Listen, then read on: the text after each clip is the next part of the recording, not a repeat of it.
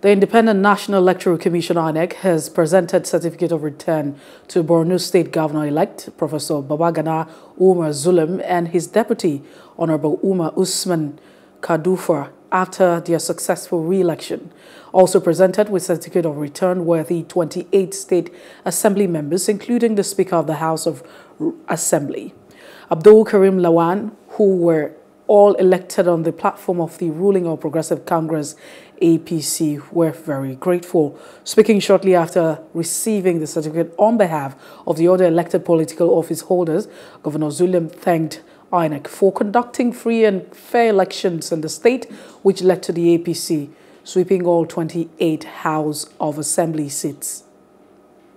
Hello. Hope you enjoyed the news. Please do subscribe to our YouTube channel and don't forget to hit the notification button so you get notified about fresh news updates.